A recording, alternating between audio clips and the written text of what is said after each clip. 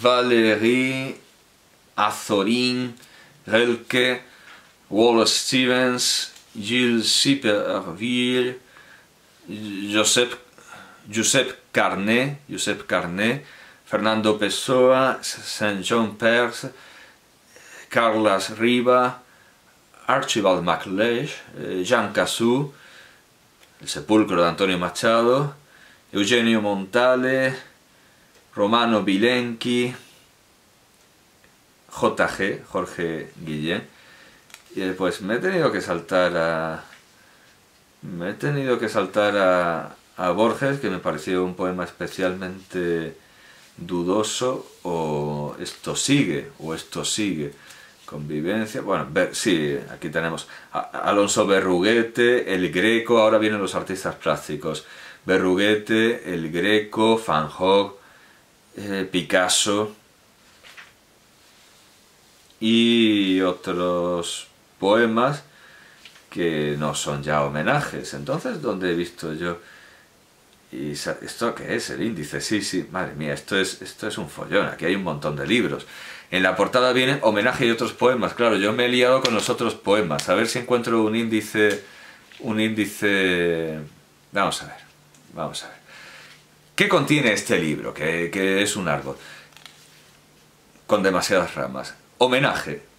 Que es una reunión de vidas. Homenaje, reunión de vidas. Contiene dedicatoria inicial al margen, al margen de todos estos autores, como Azorín escribía al margen de los clásicos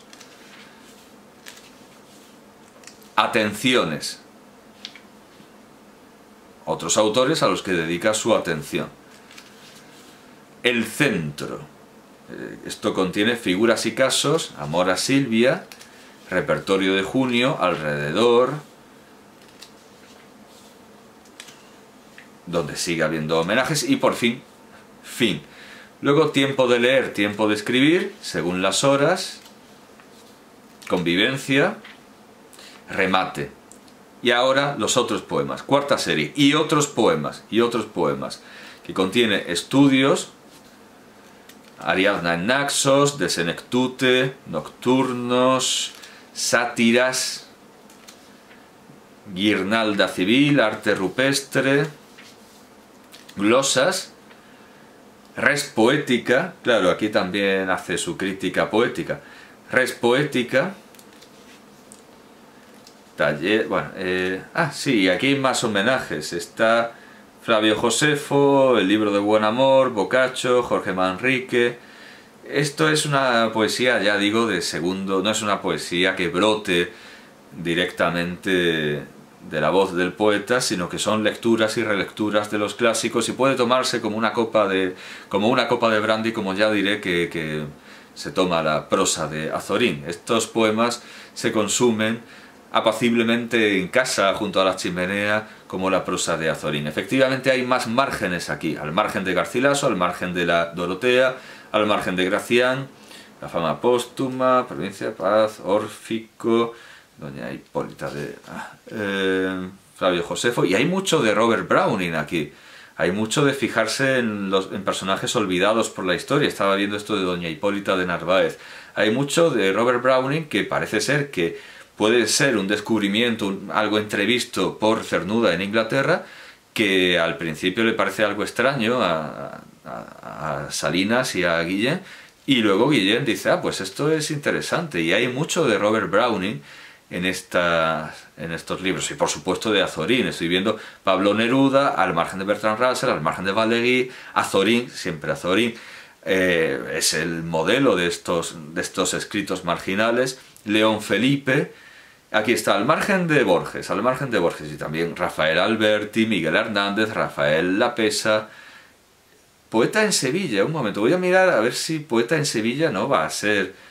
Bueno, aquí está, por cierto, Beato Sillón, que es su... al margen de aire nuestro, está Beato Sillón en, en la página 941, que es quizá su, su poema más optimista, aunque no estaba en la colección optimista, se quedó al margen. 900, 941. Siempre se ha puesto como paradigma de, esa felicidad burguesa, de como la mía, ¿verdad? De alguien que está retirado del mundo en su biblioteca, en una biblioteca provinciana, como la Torre de Montaña, como montaña en su, en su torre. Beato Sillon, empieza con una cita de Sartre. Esilia, Esilia imbécil se canapa. En tu cabeza, petulante, cuidan el mundo ya entregado a Belcebú, está sin duda alguna muy mal hecho. Esilia, Exilian imbécil, lo eres tú. Ah, claro, este no es el Beato Sillón original de El mundo está bien hecho, es una, es una parodia de, aquel que, que, en fin, que, que disiente plenamente de aquello. Eh, Borges, estaba con Borges, Rafael Alberti, sí, vamos a ver... Ah, sí, me interesaba esto de poeta en Sevilla por si acaso, 930 por si acaso va a ser... Pero yo creo que a, Cernuda lo, excluye, este poeta sevillano no será, no será Cernuda, porque que yo sepa... Vamos a leerlo por si alguien reconoce en su traza o en sus fachas. Vamos a ver, 1900... Miguel Hernández... Rafael Alberti en Roma, Rafael Lapesa, poeta en Sevilla. Viendo nacía el poeta como en, su, como en su mundo inmediato la gracia se da completa, y partió con alegría buscando en aquella luz el amor de cada día. Más le avivaban su sed el aroma del jazmín, lo blanco de la pared. Siempre con ímpetu llega, es amante sin cesar, con un gran fervor de entrega. Como en Rabel su bolero, se ahinca vital la frase de Joaquín Caro Romero. Pues no, no, efectivamente no. Cernuda, Cernuda está excluido. Vamos a ver, vamos a ver, eh, página 921. Hay tres homenajes a Borges. Tres homenajes a Borges de Guillén. Y no me acaban de...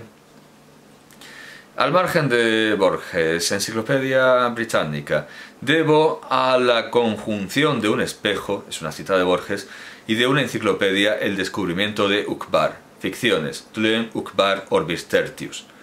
Soñemos, alma, leamos entre figuras y signos, soñemos en la memoria, ajedrez, alquimia, cábala, palimpsesto, laberinto, sumo jardín, biblioteca, escuchando, conversando con alfaquí, con astrólogo, acumular un lenguaje donde se viva muy lejos, misteriosa enciclopedia.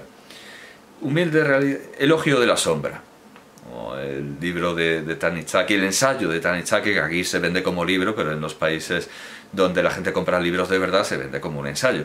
Elogio de la sombra. Este embruma vidente que discurre distante melancólico, proponiendo vocablos de luz desde la sombra, también recordemos las iluminaciones en la sombra de, de Saba, que es el título que apareció en la edición póstuma eh, por Rubén Darío este embruma vidente que discurre distante melancólico, proponiendo vocablos de luz desde la sombra, este moderno austral con tan nuevas penumbras milenarias, hacedor y dicente.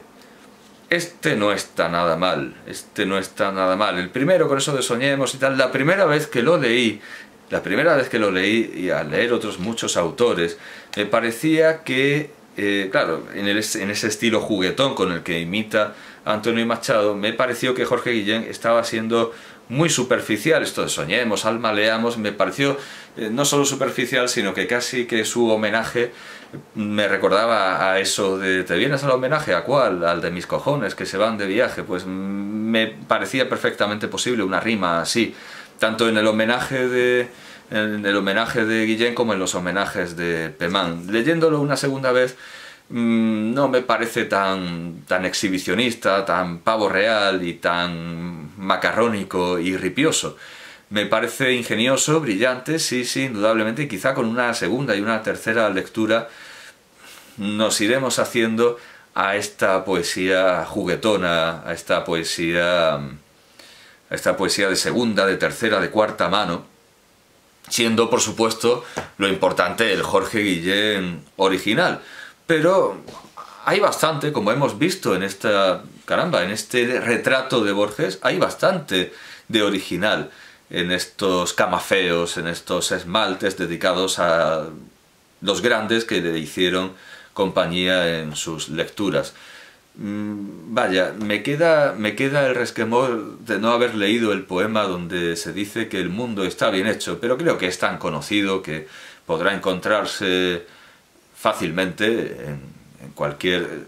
Tengo un ordenador delante pero ha muerto, así que da igual, y soy pésimo para recitar poemas de memoria, podrá encontrarse con ayuda de, Maese Google con absoluta facilidad, en tanto que esto ya no, y por lo tanto invito, invito a su, a su compra para el que pueda, porque es una inversión bien hecha, la inversión está bien hecha, o a su búsqueda en bibliotecas públicas y a su lectura pacífica, sosegada, en un, o sí, en un beato sillón.